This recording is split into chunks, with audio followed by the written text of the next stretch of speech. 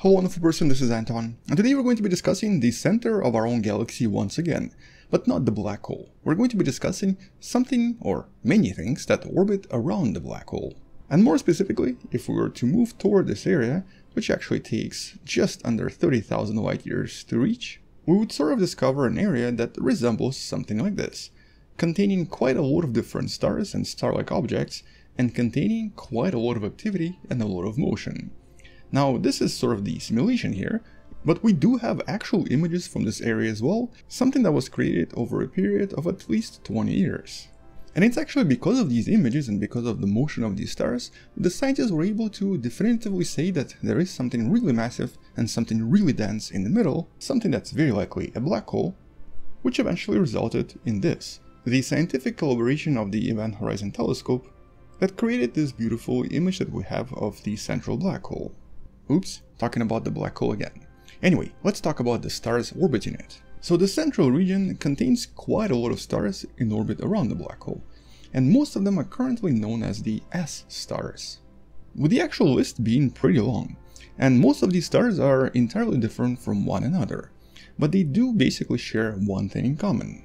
They're all gravitationally attached to the black hole itself, and they also seem to interact with one another, at least to some extent.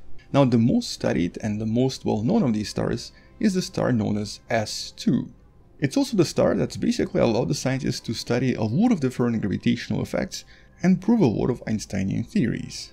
As a matter of fact, uh, back in 2018, this star had its closest approach to the black hole once again, and allowed the scientists to see the redshifting effects that were essentially the result of higher gravity in this region.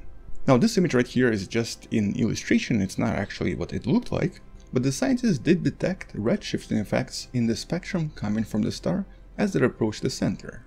And when it comes to these stars, it's sort of important to understand a little bit more about the orbital dynamics when it comes to objects orbiting other objects. In this case, an object with higher eccentricity, like the object that you see in pink or I guess that's maroon color, will have much higher velocity when it approaches the star or the black hole in this case, at this region right here that we usually refer to as a periapsis. Whereas the object orbiting in a circular orbit, like the red object, will always have constant velocity around the central area. And so the scientists in this case are always on the lookout for new stars that seem to approach the black hole at their closest. Specifically here we're talking about stars that would be super super close to the center. And that's because these stars would be zooming around the black hole at ridiculously high velocities.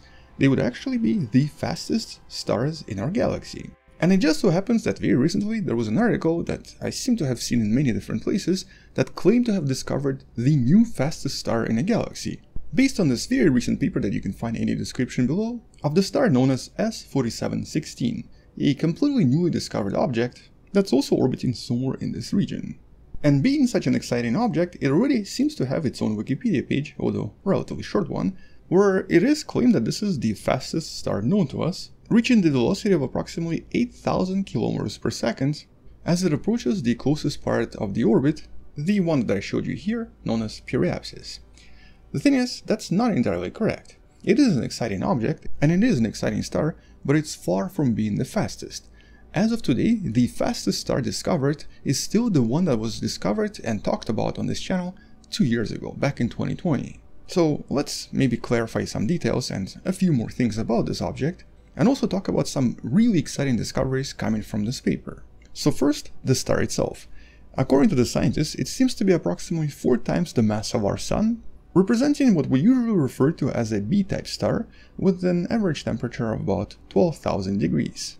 12,000 Kelvin that is. And what makes this star unique and quite exciting is the fact that it has the fastest orbit around the black hole. It only takes roughly around 4 years to orbit once. As a matter of fact, you can kind of see that in this case, its orbit is so tight compared to some of the other stars that it's actually almost impossible to even see it as its surf is blocked by a lot of other stars in the area. The biggest culprit in this case is that S2 star. S2 in this case is so bright and moves quite fast as well, that it actually ends up covering some of this area and makes detection of other stars quite difficult. Nevertheless, by using the total of 5 different telescopes observing this region, which is exactly what you're seeing right here, these are the actual images, the scientists were able to discover this new star and also confirm some of the other stars as well. with the star S4716 coming extremely close to the black hole, roughly around 100 astronomical units away from the center. That's almost three times as far away as Pluto, but is actually closer to us than the current position of the Voyager 1 and Voyager 2. And at this distance, it moves at a speed of about 8000 km per second. And that's of course because the black hole in the middle is really massive, with this most recent calculation suggesting that the mass is at least 4 million masses of the Sun, a little bit closer to 4.1, but not 4.3 as previously claimed while at the same time the scientists were also even able to calculate the total mass of stuff orbiting around the black hole. And so here we're talking about both the accretion disk and a lot of other dust and a lot of other star-like and planet-like stuff that's essentially accumulated in this region. They've discovered that there's at least 20,000 masses of the Sun in the region of this black hole that seems to sort of change the orbits of certain objects that come a little bit too close. So in some sense you can think of it as the accretion disk. And in this case, they were also able to determine a relatively accurate distance measurement to the black hole, establishing that it's about 26.2 thousand light years away from planet Earth. While also discovering that some of these previous observations of other stars might actually have been confused with one another because some of these stars are a little bit too bright and cover the smaller objects. With a relatively bright and really fast star known as S62, that manages to reach the velocity of about 20,000 km per second at its closest, also being really bright and moving fast enough that sometimes it's confused for other stars. Which means that the current list of S stars in this region may need to be reanalyzed by some of the future studies, suggesting that some of these stars might not exist because they were just another star that seemed to have been in that location that some of the studies might have misinterpreted as a completely new object. Because of the shortness of the orbit of S4716, on average it does actually have the fastest velocity around the black hole. So at its closest it approaches the black hole at approximately 98 astronomical units, but at its farthest it only goes to about 702 astronomical units. And so in theory at least, it essentially has the fastest orbit around the black hole of all of the stars discovered so far, with its orbital period looking something like this.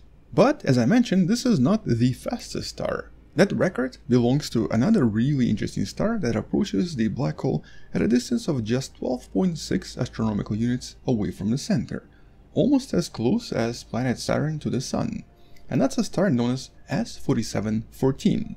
We've talked about this object on the channel previously, and you can learn more about this in one of the links in the description. And in this case, at its closest, the speed of the star is approximately 24,000 km per second, roughly around 8% of the speed of light. And that makes it at least 3 times faster than the recently identified and recently discovered star, which also means that the record holder here is still the star known as S4714, and it's very unlikely that its record is going to be beat anytime soon. This older paper describes this discovery in a little bit more detail. But its orbital period is 12 years, so the only reason it has such a high velocity close to the black hole is because of the eccentricity once again. Or in other words, its orbit is a lot more oval in shape. The eccentricity here is about 98.7%, and so at its closest, the speed becomes ridiculously fast. But a lot of these S-stars move really fast at their closest orbit. Actually, only very few of them move with a speed of less than 1000 km per second at the closest approach, so all of them have very fast velocities. And you can actually check out this table that you can find in the description below that shows you some of the other parameters of all of these stars. In this case, if we actually sort all of these stars by speed, you can kind of see which ones are the fastest, and S2 is pretty fast compared to all of these objects. Although none of this is currently formalized and none of these names are even permanent, and so some of these properties and some of the names as well might change in the future. This is still a pretty new area of study, and in this case the scientists still don't really know much about the stars or how all of this interacts with the central black hole over time. But when it comes to S4716, one of the most surprising discoveries is actually how stable the orbit is considering the total distance to the supermassive black hole.